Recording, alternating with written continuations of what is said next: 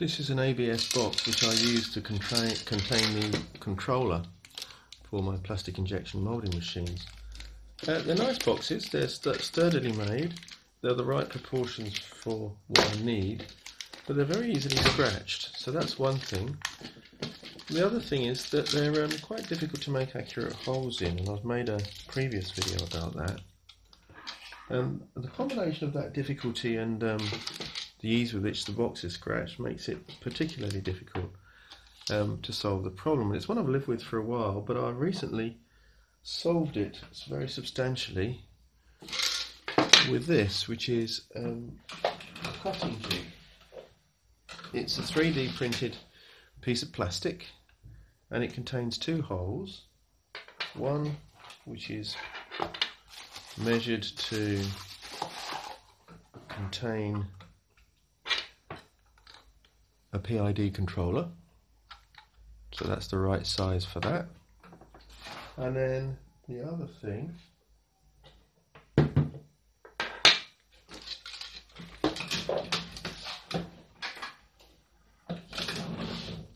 The other thing is the power socket, which just fits in there. Now, of course, the idea is not that these things go in these holes, but these holes are duplicated on the box. So we'll we'll mark this out.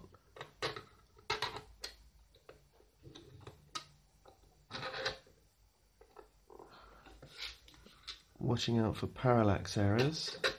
Make sure we're right up into the corner.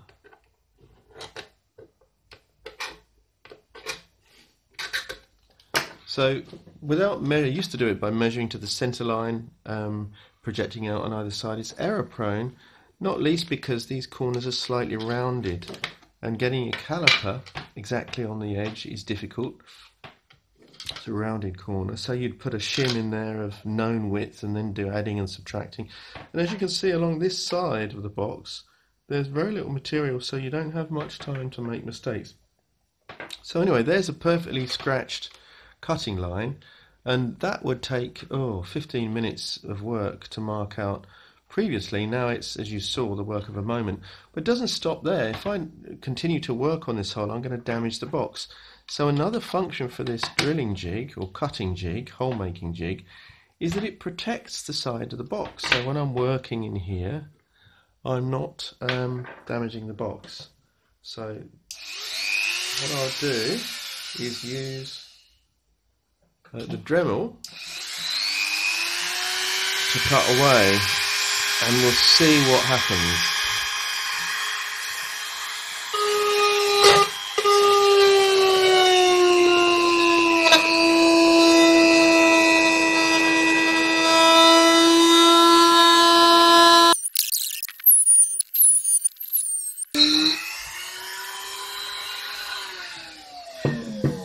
Get used to this because of the way the turn the tool turns. It's either trying to dig into the jig or trying to come away from the jig. I prefer it to try and come away from the jig.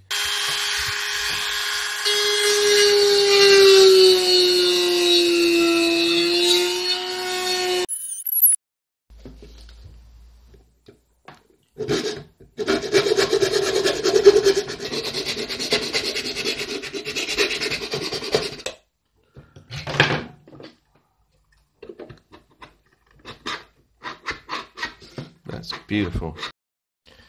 And then we need to put um, at the other hole on the other end, which is the back of the machine. So I'll turn it round, put it back in the bag to um, give it protection from scratches. I used to tape this all up with masking tape and then that would get all gunked up so you'd have to clean it with a solvent and just so much work. Now this jig, you need to orient this correctly. So this is the front of the machine. This is the outside, the left-hand side of the machine. The, the main socket goes on the bottom. So we put that there. Hole is there. Main socket's there. Don't get that wrong. It's quite boring, I'm guessing. okay, same process. Mark it. Again, I can't stress how much quicker that is, it's marked, it's guaranteed to be absolutely bang on correct. Yeah, doing what I just did there, the old way, is a huge deal. Well, it's it's it's 20 minutes work and it was 20 seconds work there, so a very worthwhile improvement. Okay, let's do the second hole. Let's not make it that one, it's this one we're cutting this time.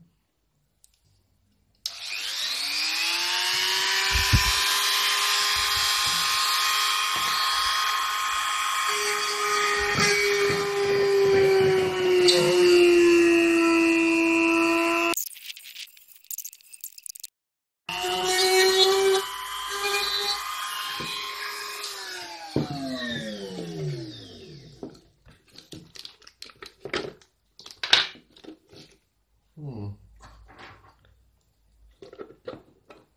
Oh, it's done. Oops. Just like that. Let's take a look at the jig after one use. A couple of dings here, one here.